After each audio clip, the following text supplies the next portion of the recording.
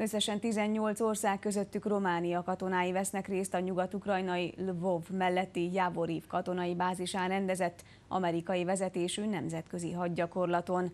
Az ukrán kormány és szövetségesei az Ukrajna területi egysége melletti szolidaritást kívánják ezzel a gyakorlattal demonstrálni, miközben az ország keleti felében folytatódnak az összetűzések a kormányerők és az orosz barát szakadárok között. A gyakorlaton hozzávetőleg 2000 katona vesz részt, a legtöbbjük ukrán. Alfred Renci ezredes 526 amerikai katonát irányít. A további 18 résztvevő állam többsége NATO tag, de az Észak-Atlanti Szövetség szervezetén kívüli államokból is érkeztek, úgy mint Azerbajdzsán, Grúzia, Szerbia vagy a Moldovai Köztársaság.